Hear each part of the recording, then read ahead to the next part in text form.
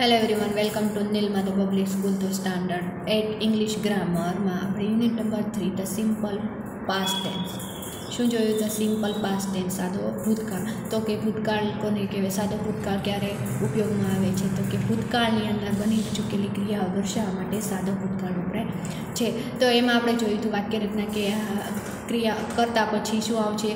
ક્રિયાપદ છે એ ઈડીવાળું આવશે અથવા ડીવાળું આવશે અથવા અનિયમિત આવશે એ રીતે આપણે જોયું હતું. હવે આપણે શું જોવાનું છે નકાર વાક્યો? તો તમારી ગ્રામર બુકમાં પેજ નંબર બાવીસ પર તમને આપેલા છે નકાર વાક્ય.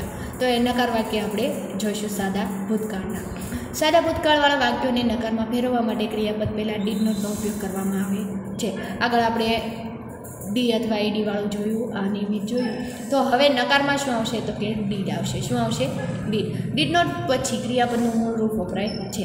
તો શું આવશે? ડીડ નોટ પછી ક્રિયાપદનું મૂળ રૂપ ભૂતકાળ છે એટલે ક્રિયાપદનું મૂળ રૂપ વાપરવામાં આવશે. પુરુષવાચક સર્વનામ નામ કે સર્વ સામાન્ય નામ પ્રમાણે ડીડ નોટનો ઉપયોગ નીચે પ્રમાણે થાય છે. આપણને કાંઈ કોષ્ટક આપેલો છે. જોઈએ તો પુરુષવાચક સર્વનામ નકાર ક્રિયાપદનું સ્વરૂપ નકાર વાક્યમાં ફેરવવાનું છે એટલે નકાર નોટ મૂકવાનું રહેશે I did not sing you did not sing he did not sing she did not sing it did not sing Raj did not sing એક વિશેષના a child did not sing એક વચન સામાન્ય નામ વી ડીડ નોટ પ્લે હવે play આપેલું છે you did not sing they did not sing Raj and Riya did not sing એકથી વધુ વિશેષ નામ ચિલ્ડ્રન ડીડ નોટ સિંગ બહુવચન સામાન્ય તો આપણે સર્વનામ પ્રમાણે જોયું કે એક વચન હોય કે બહુવચન હોય તો ભૂતકાળની અંદર ડીડ આવે છે. ડીડ નોટ મૂકવાનું રહેશે. નકાર વાક્ય. તો હવે ઉદાહરણ નીચે આપેલા છે. She did not go out તે બહાર ગઈ નહોતી. શી ડીડ નોટ તો નકાર વાક્યમાં કરતાં પછી શું આવશે? ડીડ નોટ અને ક્રિયાપદ છે મૂળ રૂપમાં આવશે. મૂળ આવશે. બીજું Birju did not plot his field in the morning બિરજુએ સવારે તેનું ખેતર ખેડ્યું નહોતું. ત્રીજું my father did not take us to watch the movie મારા પિતાશ્રી અમને ફિલ્મ જોવા લઈ ગયા નહોતા. The singers did not sing ગાયકોએ ગાયું નહીં. Veena, Meena and Veena did not come home early Veena Meena અને મીના ઘરે જલ્દી આવ્યા નહોતા. તો શું કીધું છે? આપણે એક વચન હોય કે બહુ વચન હોય તો ભૂતકાળમાં આપણે શું લગાડ્યું છે? નકાર વાક્યમાં ડીડ વાપરાયું છે. ઉપરોક્ત બધા જ વાક્યોમાં ડીડ નોટ પછી ક્રિયાપદનું મૂળ રૂપ વાપર્યું છે. નેક્સ્ટ પેજ તરફ જઈએ તો. હવે આપણને અહીંયા ઓળખ દર્શક શબ્દો કે સમય દર્શક શબ્દો કે એ આપેલા છે. તો શું છે? Yesterday the day before yesterday ago last night year back last week આ બધા જ શબ્દો શબ્દ સમૂહો સાદા ભૂતકાળના સમયદર્શક શબ્દો તરીકે વપરાય છે. તો સાદા ભૂતકાળના સમયદર્શક શબ્દ તરીકે આ તમારે યાદ રાખવા પડશે. તો એ સમયદર્શક શબ્દ આપેલા છે યસ્ટરડે, ગઈકાલે, લાસ્ટ નાઇટ ગઈ રાત્રે, લાસ્ટ વીક ગયા અઠવાડિયે, ધ ડે બિફોર યસ્ટરડે, ગઈકાલના આગલા દિવસે, વન્સ અપોન ટાઈમ ઘણા સમય પૂર્વે, આગો, થોડા ઘણા સમય પહેલાં, યર બેક, વર્ષો પહેલાં. તો હવે આપણને અહીંયા ઉદાહરણ આપ્યા છે કે ઓળખ શબ્દો તરીકે આપણે જોવાના છે. તો, Meena wrote a letter yesterday મીનાએ ગઈકાલે પત્ર લખ્યો. તો અહીંયા આપણને પાછળ છે એ ઓળખ શબ્દ સમય દર્શક શબ્દ આપણને આપી દીધા છે. Once upon a time use dinosaur live on the earth ઘણા સમય પૂર્વે આ પૃથ્વી પર વિશાળ કાંઈ ડાયનોસર રહેતા હતા. ત્રીજું last night they brought flower for her તેઓ ગઈકાલે રાત્રે તેણી માટે ફૂલો લાવ્યા. તો જે સમયદર્શક શબ્દો છે એ આપીને આપણને ઉદાહરણ આપ્યા છે. કેટલીક વખત એવી ક્રિયાઓ કે જે ભૂતકાળમાં વારંવાર બની હોય તેને દર્શાવવા માટે પણ સાદા ભૂતકાળનો ઉપયોગ થાય છે. એટલે કે વારંવાર બની ગઈ હોય, બની ગઈ હોય તો એને ભૂતકાળમાં દર્શાવેલી હોય છે. તે જ પ્રમાણે એવી ક્રિયાઓ કે જે ભૂતકાળમાં થોડો સમય માટે ઘટી હોય તેને દર્શાવવા માટે પણ સાદા ભૂતકાળમાં ઉપયોગ થાય છે કે ભૂતકાળમાં થોડા સમય માટે પણ બની હોય, પણ એ ભૂતકાળમાં જ થાય છે તો એ પણ દર્શાવવા માટે શું વપરાય છે? સાદો ભૂતકાળ. હવે ઉદાહરણ આપેલું છે આપણને.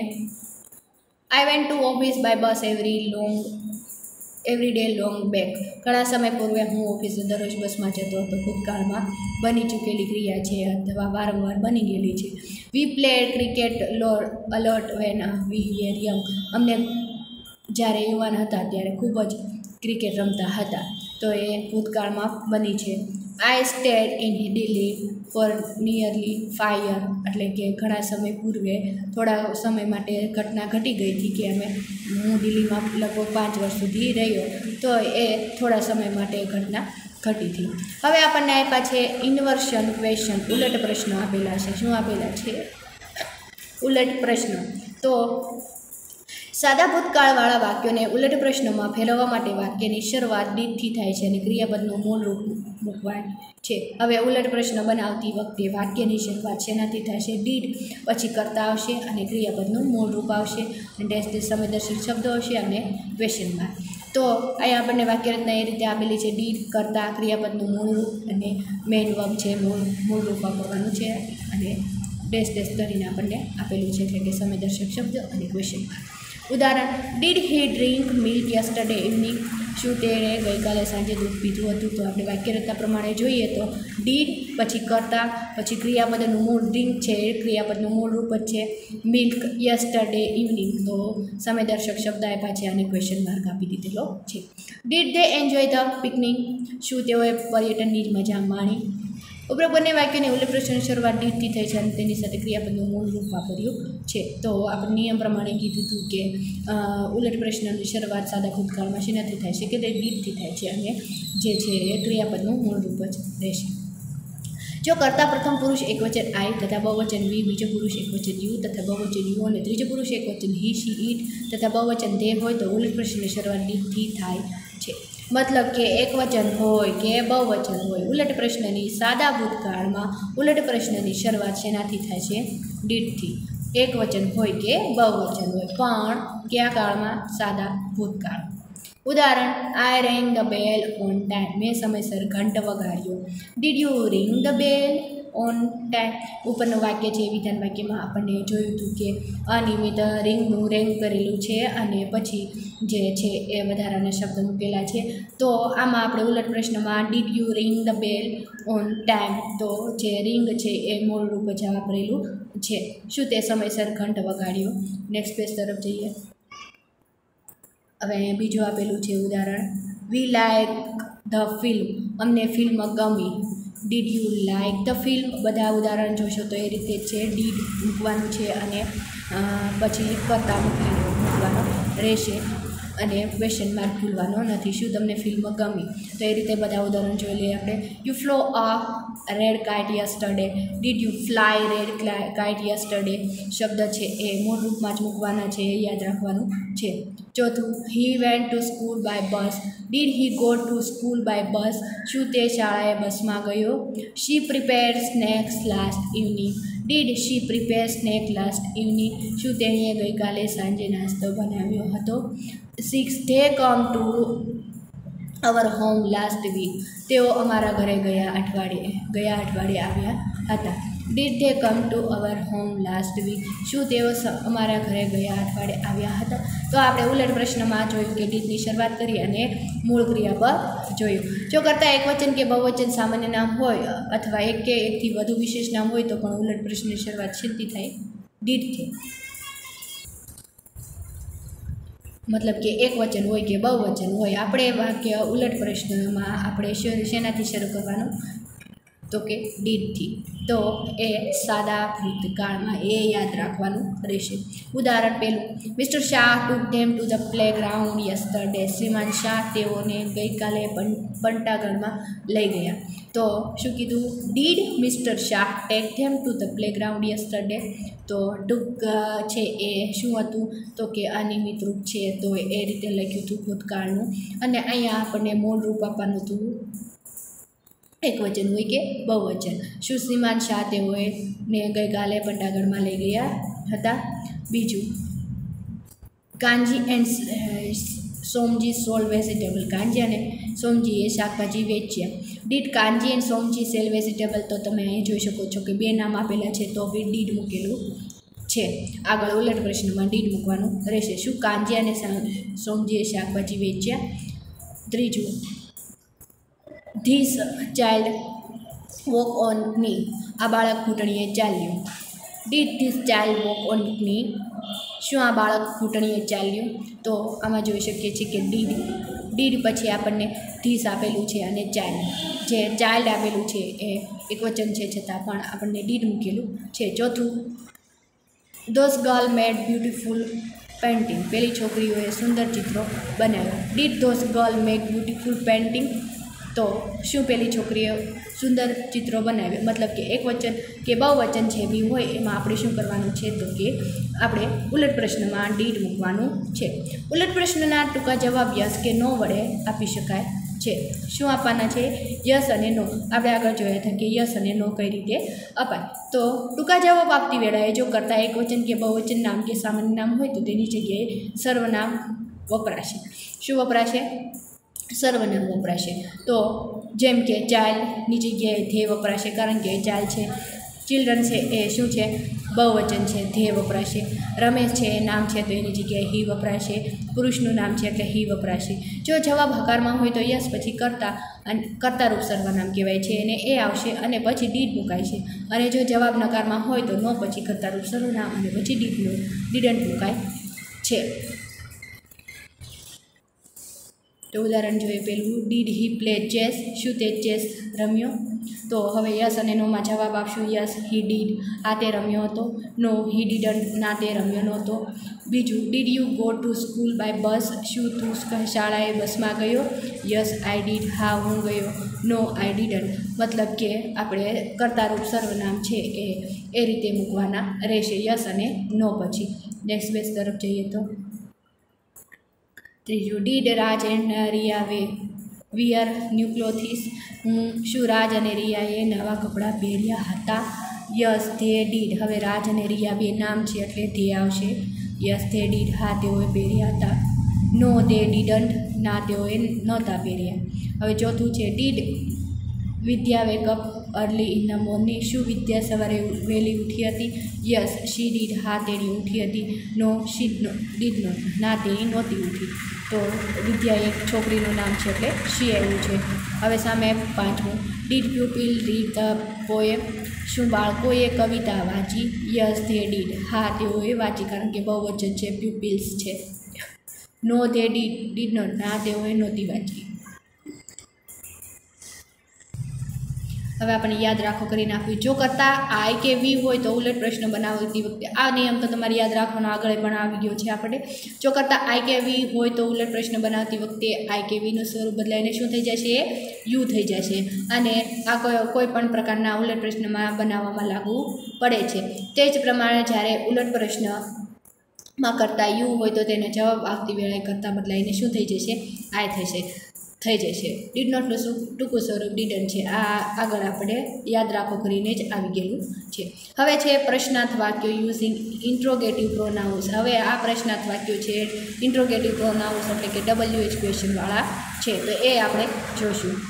પ્રશ્નાર્થ વાક્યો વુ હવે આપણને વુ આપેલું છે. વુ એટલે શું થશે? કોણ? તો પ્રશ્નના જવાબમાં ક્રિયાનો કરતા મળે છે. કોણ એટલે કોણે કર્યું એવું આપણે ગુજરાતીમાં પૂછીએ છીએ કે તો હું? એ રીતે આપણે પૂછીએ છીએ. તો પ્રશ્નના જવાબમાં શું મળશે? ક્રિયાનો કરતા મળશે. કોણે ક્રિયા કરી એવું કરતા મળશે. વુ પ્લસ શું આવશે? વર્બ્સ ડી અથવા ઈડીવાળું કર્મ અને વધારાના શબ્દો.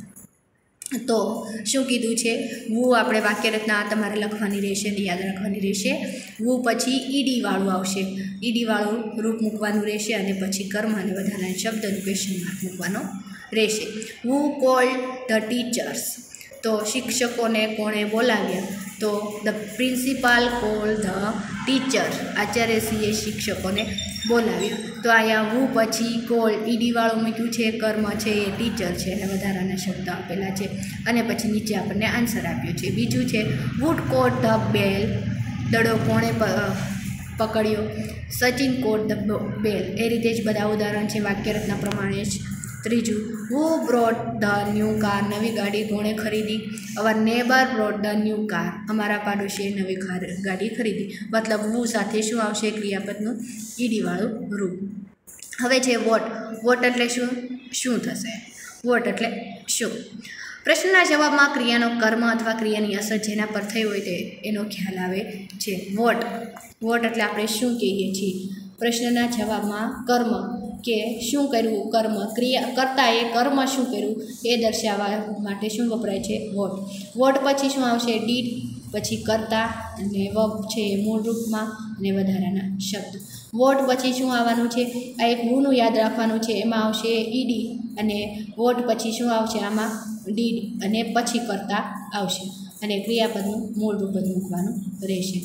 ઉદાહરણ, what did you what did your father drink in the morning તો આપણે એક એક્ઝામ્પલ છે એ સમજી લઈએ. વોટ પછી શું મૂક્યું? ડીડ પછી યોર કરતા છે.